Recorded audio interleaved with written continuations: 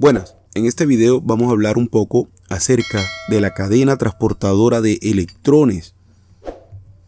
La cadena transportadora de electrones se da en las crestas mitocondriales. Para recordar un poco, la glucólisis se da en el citoplasma celular.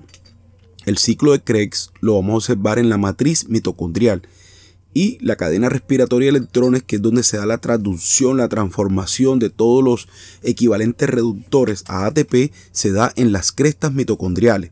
Pero esto necesita de un conjunto de complejos proteicos que se encuentran en ese lugar, en la membrana interna de la mitocondria.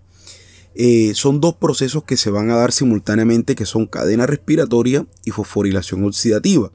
Y su función es la producción del ATP. Aquí podemos observar los complejos. Son cuatro complejos o cinco con la ATP sintasa. ¿Dónde ocurre? La glucólisis, como ya hemos mencionado antes, se da en el citoplasma de todas las células de nuestro cuerpo. Luego ocurre el ciclo de Krebs que se da en la matriz mitocondrial, todo este lugar y luego la cadena respiratoria o cadena transportadora de electrones que se da en las crestas mitocondriales, donde vamos a encontrar los complejos proteicos encargados de transformar toda esa eh, equivalente reductores, el NAT y el FAT, en moléculas de ATP, ya que el ciclo de Krebs como tal solo no produce ATP, necesita de esa transformación del ATP en la cadena respiratoria. Nosotros aquí estamos observando el espacio intermembrana, aquí tenemos la membrana interna y aquí tenemos la matriz mitocondrial. Este es el complejo número uno también llamado NADH deshidrogenasa. Tenemos la coenzima Q, que es un transportador intermembrana lipídico. Tenemos el complejo 2 que se llama succinato deshidrogenasa, es el mismo del ciclo de Krebs. Tenemos el complejo 3 también llamado citocromo B, C1. Tenemos el citocromo C, que es otro transportador. Tenemos el complejo 4, también llamado citocromo C oxidasa. Y el complejo 5, o simplemente ATP sintasa. ¿Qué es lo que ocurre en estos complejos? Lo primero que ocurre es que aquí va a ingresar el NADH más H, que se formó en el ciclo de Krebs. Y él va a dejar sus electrones y va a salir como NAD, NAD más, va a salir oxidado. Esos electrones van a pasar y los va a obtener el flavin mononucleótido. Luego esos electrones van a pasar a los átomos de hierro azufre. Esto provoca que ingresen un bombeo de protones desde la matriz mitocondrial al espacio intermembrana. Luego salen los protones. Estos electrones luego pasan a la coenzima Q, también llamada ubiquinona, y habíamos dicho que es un transportador lipídico de la membrana. Luego él le entrega los electrones al citocromo B. El FADH ingresa en el complejo número 2 y también deja sus electrones y sale FAD.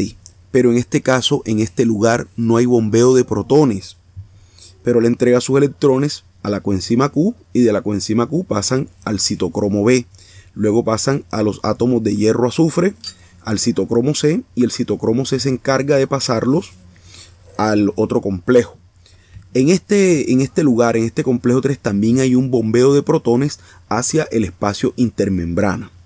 Luego el citocromo C se encarga de entregar los electrones al complejo 4, también llamado citocromo C oxidasa, o citocromo A, o citocromo A3.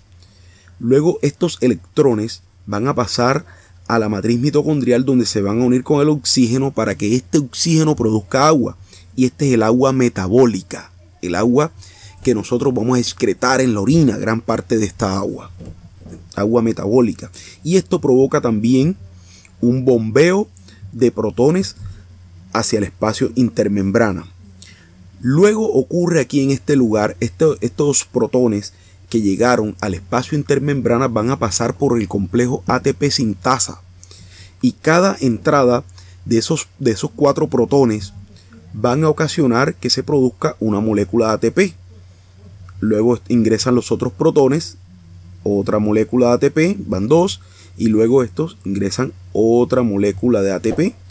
Así que por cada molécula de NADH se van a producir tres moléculas de ATP. El FAD, el FADH, como ingresa en el complejo número 2 y en este no hay bombeo, solamente va a bombear en este el complejo 3 y en el complejo 4.